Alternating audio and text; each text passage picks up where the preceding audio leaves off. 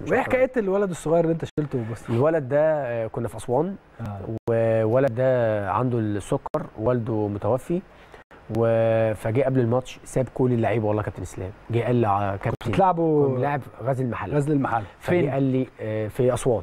فجه قال لي آه، كابتن لو جبت جون هتجيلي قلت له والله العظيم لا اجيلك قال لي يعني هتكبر بخاطري بنفس اللفظ كده قال لك إيه؟ هتكبر بخاطره وتجيلي هو آه. فاكر ان أنا يعني بقول كلمة وخلاص. لو أنا هجيلك وخلاص يعني والله العظيم لا اجيلك وأنا بقرا الفاتحه هننزل ماتش والله العظيم يا كابتن اسلام قلت يا رب نفسي أجيب جون عشان خاطر الولد ده حتى لو أنا جبت الجون وأنا بجري تلاقيني بقول الولد فين الولد فين يعني كان كل هدفي اسلم على الولد يعني آه. فلقيته جاي لي تكبر بخاطره زي ما اتفقت بخاطره زي ما قال لي بالظبط آه. زي ما قال لي بالظبط هو آه. يكون ربنا سبحانه وتعالى كرمني في الجون ده عشان خاطر الولد عمر.